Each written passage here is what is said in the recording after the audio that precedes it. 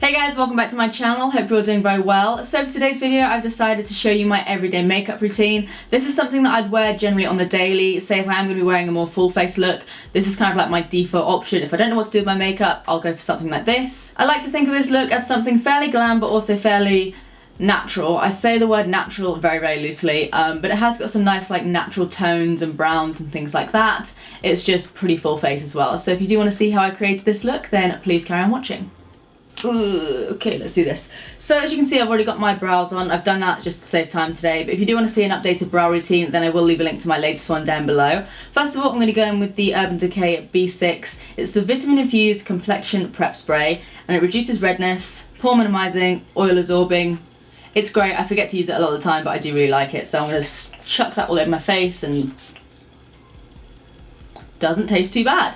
Okay, so now that's on, I'm to go straight in with a primer. I'm to be using the Makeup For Ever Step 1 Skin Equalizer. This one is the Smoothing Primer. I'm just to chuck that down my nose and chin and just anywhere I have more pores basically. And just spread that bad boy out. Next I'm going to go in with my Milani 2-in-1 foundation. I do use the um, Decay one quite a lot. I tend to mix it up between this one and the Urban Decay one. Um, it's just that my skin has cleared up a lot recently, so I'm going in with this one just because it's a little bit less full coverage. Buff that on. Next I'm going to chuck some concealer on my face. You guys know I love the IT Cosmetics Bye Bye Under Eye.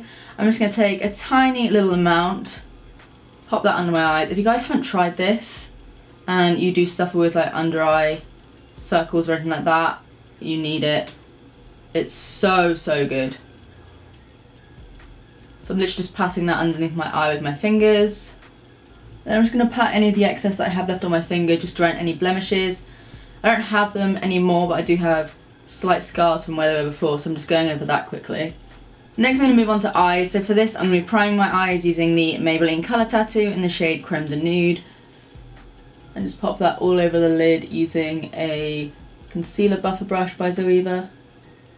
So now my eyeballs are all primed, I'm going to go in with the Anastasia Modern Renaissance palette and I'm going to use the shade, I always say this wrong but I still like to say it this way, Tempura. I know that it's not called tempura, that's like a sushi sort of fried thing, but to me it'll always be tempura. I think it's actually called tempera. Same thing. And I'm just going to pack that over the lid just to set that in place. For this I'm just using the Zoeva Luxe Grand Shader. There's no real reason as to why I'm using it. It's just clean and it's quite big so it covers my eyelids a lot quicker. Next for our transition shade I'm going to go in with the shade Warm Taupe. Pop a little bit of that on a fluffy brush, tap off the excess and just pop that in the crease. I always like to make sure that I keep my eyes open when I'm doing my shadow just because I don't have hooded eyes, but I do have a slight sort of heavier brow. I've got like a lot of skin going on here, so it can kind of make my eyes look hooded sometimes. So by keeping them like open while I'm doing my makeup, I can see how it'll look when I'm actually walking around with my eyes open, because you don't tend to walk around like this. Your eyeshadow might look great like this, but on the daily, it's not going to look fab. So if I was just doing a super, super everyday look, just something that I'd maybe head out for like a coffee in or something, then I probably would just literally like fill in the crease of my eye and that's it. But that's a boring for you. So today I'm going to be just doing something ever so slightly different, but it is an everyday look that I like to wear quite a lot. Next, using the same brush, I'm going to go in with Raw Sienna, which is like a warm brown shade, and I'm going to pop that slightly under my crease. And then just to add a little bit of dimension, again, same brush, going in with Burnt Orange. I like to use the same brush because if it's every day, I don't want to go around switching up all my brushes every five seconds. I don't ever go on the, I just realised I'm flipping you guys off, sorry.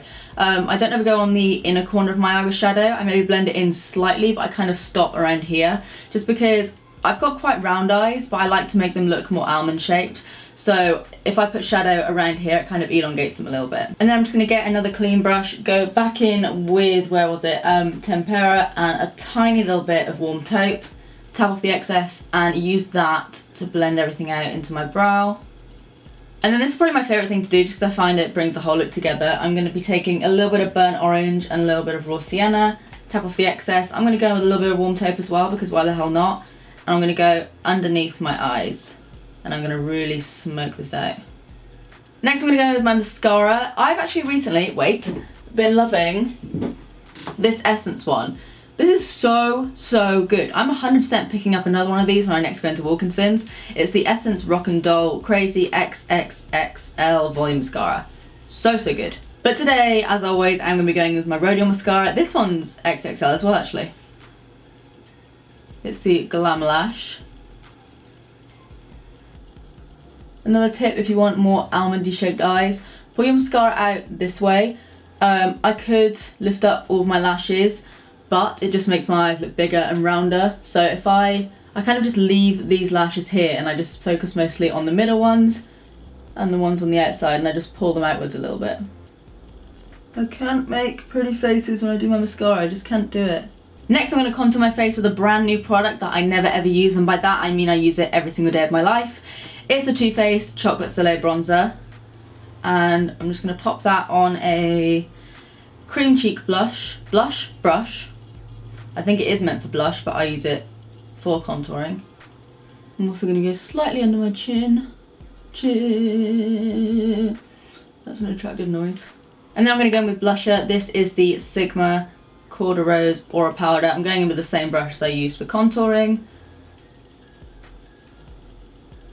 Pop that on my cheeks. I don't like too much blush, so I do use quite a light hand. And I just realised I forgot to contour my nose and my lip. All I do for that is I literally just pop a little bit of the same Too Faced powder under my septum just to shorten that a little bit. Just make my nose look a little bit more teeny tiny.